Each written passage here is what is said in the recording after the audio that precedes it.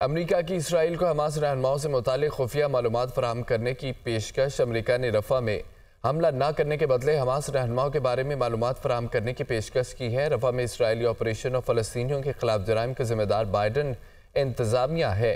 अमरीका सहूनी फस्ताइत पर मुसलसल पर्दा डाल रहा है। आलमी बरदरी डरना छोड़, छोड़े। रफा पर चढ़ाई की सूरत में इसराइल को हथियार फराहम नहीं करेगी। शहरीों के कत्लेआम के लिए तोपखाना और दीगर हथियार इसराइल को नहीं देंगे।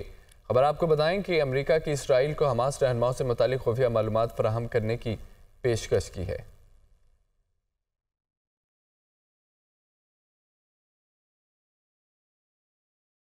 हमास रहनुमाओं से मुतल खुफिया मालूम फराहम करने की पेशकश की है। अमरीका ने रफा में हमला न करने के बदले हमास रहनुमाओं के बारे में मालूम फराहम करने की पेशकश की है। रफा में इसराइली ऑपरेशन और फ़लस्तियों के खिलाफ जराइम का जिम्मेदार बाइडन इंतजामिया है। अमरीका सहूनी फस्ताइत पर मुसलसल पर्दा डाल रहा है और आलमी बरदरी डरना छोड़े, हमास की जानब से कहा गया है।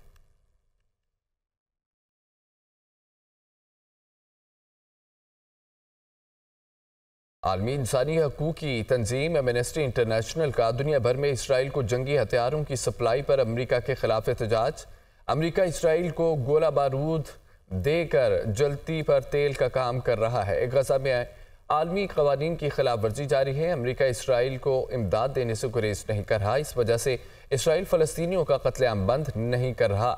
आपको बताएँ कि आलमी इंसानी हकूक की तंजीम एमनेस्टी इंटरनेशनल का दुनिया भर में इसराइल को जंगी हथियारों की सप्लाई पर अमरीका के खिलाफ एहतजाज।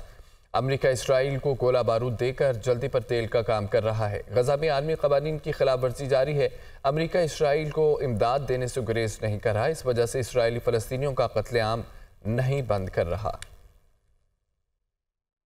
अफ़गानिस्तान में सैलाब ने तबाही मचा दी। जान भाग अफराद की तादाद तीन सौ हो गई है। बगलान के बाद मजीद तीन सूबे सैलाब की लपेट में आ गए हैं। सैकड़ों अफराद जख्मी और लापता हैं। दो हज़ार से जायद घर तबाह हो गए। मुतद मकाम पर इमदादी कार्रवाइयाँ जारी हैं। जमाक होने वालों में बच्चे और ख़वान भी शामिल हैं। अफ़गानिस्तान में सैलाब ने तबाही मचा दी। जमाक अफराद की तादाद तीन सौ हो गई। बगलान के बाद मजीद तीन सुबह सैलाब की लपेट में आ गए। सैकड़ों अफराद जख्मी और लापता। दो हज़ार से जायद घर तबाह हो गए। मुतद मकाम पर इमदादी कार्रवाइयाँ जारी हैं। जमाक होने वालों में बच्चे और ख़वान भी शामिल। ब्रेक के बाद अहम खबर आपको दें। सदर ममलिकत आसिफ अली जरदारी ने आज़ाद कश्मीर के मामले का नोटिस ले लिया। जराये के मुताबिक आज़ाद कश्मीर की सूरत हाल के हवाले से सदर आसिफ अली जरदारी की जर सदारत आज इजलास होगा। सदर ममलिकत ने पीपल्स पार्टी के पार्लिमानी बोर्ड का इजलास भी तलब कर लिया।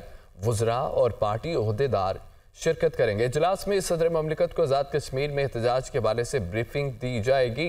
सदर ममलिकत आसिफ अली जरदारी ने आज़ाद कश्मीर के मामले का नोटिस ले लिया।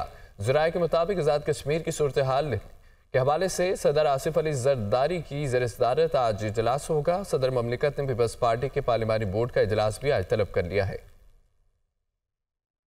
एहतजाज में जो कुछ हुआ, महज इंतहा पसंदों ने किया। वज़ीर अजम आज़ाद कश्मीर की जानब से कहा कि एहतजाज के दौरान पुलिस ऑफिसर की शहादत अफसोसनाक है। हुकूमत कभी मुजाकर से पीछे नहीं हटी। सोशल मीडिया पर बेबुनियाद प्रोपोगंडा किया जा रहा है। कमिश्नर और डिप्टी कमिश्नर के इस्तीफों की खबरें बेबुनियाद हैं। सियासी हुकूमत बातचीत के ज़रिए मसाइल का हल निकालती है। एक्शन कमेटी को फिर मुजाकर की दावत देते हैं। आई एम एफ़ का मिशन आइंदा हफ़्ता पाकिस्तान से मुजाकर करेगा। नुमाइंदा I M F Esther Perez के मुताबिक आई एम एफ़ मिशन का मकसद अगले प्रोग्राम से मुतलिक बातचीत है। मुजाकर से गवर्नेंस और मीशत के लिए बेहतर नतज बरामद होंगे। आई एम एफ़ का मिशन आइंदा हफ़्ते पाकिस्तान से मुजाकर करेगा। नुमाइंदा आई एम एफ़ के मुताबिक आई एम एफ़ मिशन का मकसद अगले प्रोग्राम से मुतल बातचीत है। मुजाकर से गवर्नर्स और मीशत के लिए बेहतर नतज बरामद होंगे।